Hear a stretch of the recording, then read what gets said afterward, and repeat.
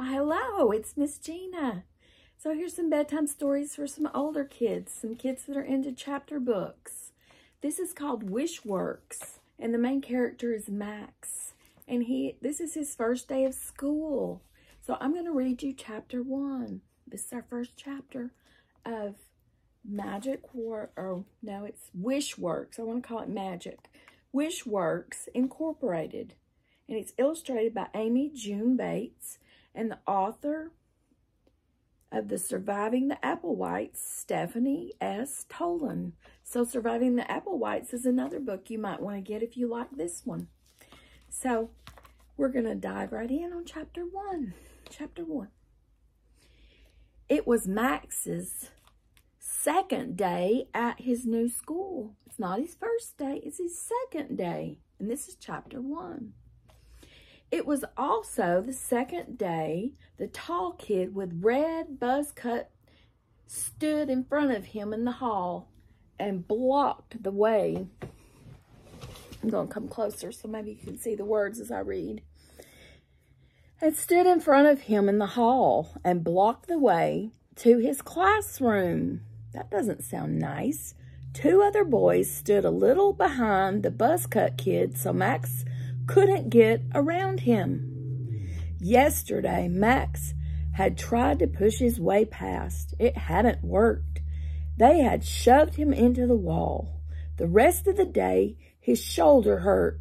Right now, this minute, if he touched the place, it would still be sore. It wasn't fair. It wasn't fair. He wanted to take them on, but there were three against one. Three against one is not fair. Not at all.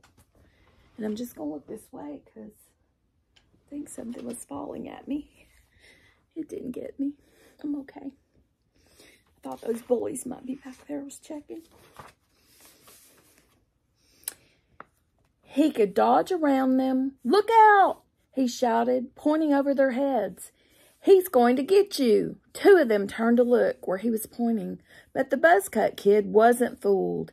He snatched Max's lunchbox and ran for the boys' room. He went in the bathroom with his lunch. How rude. When Max started after him, the two others jumped in front of him. Max dodged sideways, and they dodged with him. He dodged the other way, and they did too.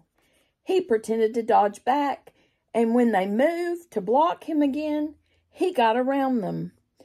But by the time the buzzcut kid was coming out of the boys' room with an evil grin on his face, his hands were empty.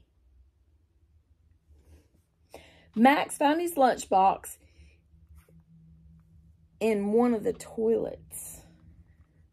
He pulled it out and carried it, dripping to the sink he ran water over his lunchbox and then washed his hands.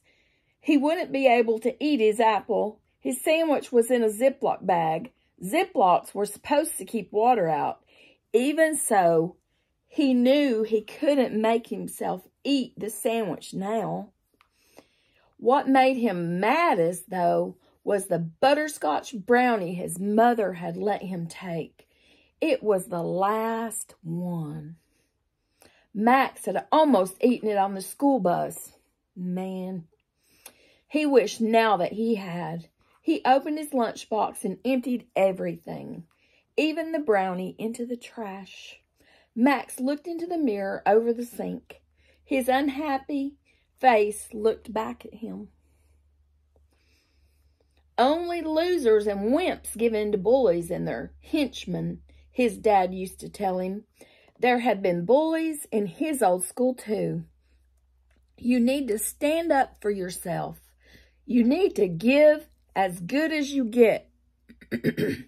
Max made a ferocious face in the mirror. I am not a loser, he thought. I am not a wimp. He imagined a big reddish-brown dog standing right behind him. The dog wagged his big plume of a tail. Get him, King, Max whispered. King bounded out into the hall and grabbed the buzzcut kid pants leg. The buzzcut kid fell to the floor in Max's mind. Only in Max's mind. It didn't happen for real. I think I'm going to trade out my chair. Okay, let's see. It happened in his mind. So he doesn't really have a dog with a big plume of a tail. So King jumped on the kid and stood with his front feet on his chest. King growled, deep, loud, scary growl. Can you growl like you think Max did? For King? the buzzcut kid howled. The kid's henchman ran away. Max saw himself walking calmly out of the boys' room and standing over the buzzcut kid. That's enough, he said to the dog. King came to sit beside him, a bit of blue denim between his teeth. The buzzcut kid ran crying down the hall to the third grade classroom. Max wiped his wet hands on his jacket. He patted King's head. No wimps or losers here. None, no. The bell rang. Ring, ring, ring, ring. Max left the boys' room and carried his still dripping lunchbox towards his classroom. He imagined King walking at his side, ears up, tail wagging or waving.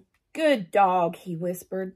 Tomorrow, he would not open his lunchbox on the bus to see what was inside. He would keep it safely in his backpack. Inside the classroom, he put his jacket, his backpack, and the wet lunchbox into his cubby and went to his seat. He imagined King lying down next to his feet, head and ears up, keeping watch. When Mr. Malone, the third grade teacher, took the roll, Max listened carefully. The buzzcut kid's name was Nick Berger.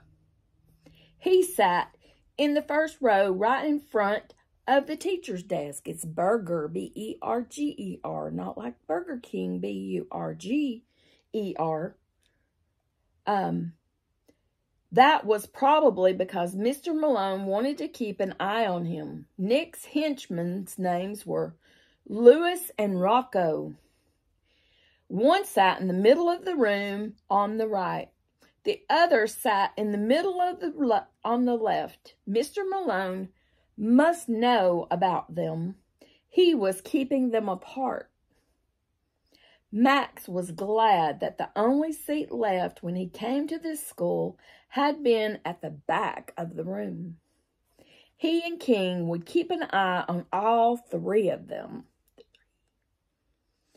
All morning, Max stared at the back of Nick Berger's neck and imagined terrible things happening to him. First, there was a red and purple dragon with fiery eyes that swooped down and picked Nick up with his huge claws. The dragon flew over a glowing volcano and dropped Nick in. Then there was a big squinty-eyed man dressed all in black who shoved Nick into a cage and made that were made of iron bars. He put a heavy chain around the cage and padlock on the chain. But best of all, Max thought was when Nick opened his desk and scorpions, that's right, scorpions, swarmed out and ran up his arms. Arms. Ooh, I don't want that. Do you know the answer, Max? Mr. Malone asked at one point. Max had been so busy imagining a snake crawling up Nick's leg that he hadn't heard the question. He shook his head. No daydreaming, Mr. Malone said. Max hated the word daydreaming. His father, there's the pictures. There's the dragon. There's the dog. There's King. There's Max sitting at his desk. And there's, is it Burger? Nick Berger his dad used to use it a lot. Daydreaming will never get you anywhere. He would say, you need to pay attention. Mr. Malone said. Max nodded. He tried to pay attention after that, but it was hard to care when the farm products care about the farm products of Mexico. Pretty soon, he was imagining Luis or Lewis and Rocco turning on Nick on the playground. They pulled his pants down. Under his pants, Nick was wearing pull-up diapers like the ones Max's sister Polly used to wear with pink flowers. All the other third graders stood around Nick and laughed until he got loose from his henchman and ran away. As he ran, Nick's face was redder than his buzz cut. At lunchtime, Max was by him, or he sat, he was by himself. He sat by himself, keeping an eye on Nick and his henchmen. Thanks to them, he had nothing to eat. But that didn't mean they'd won. He imagined himself eating his favorite pizza. It had pepperoni and sausage with mushrooms and extra cheese.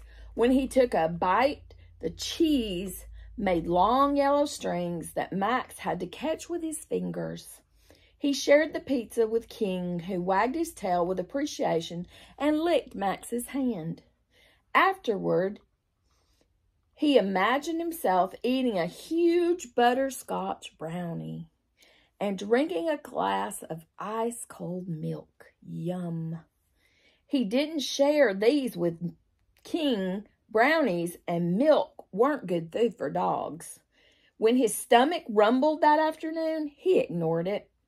He told himself that he and King were spies in a school full of space aliens it was a school that was teaching the aliens how to conquer Earth.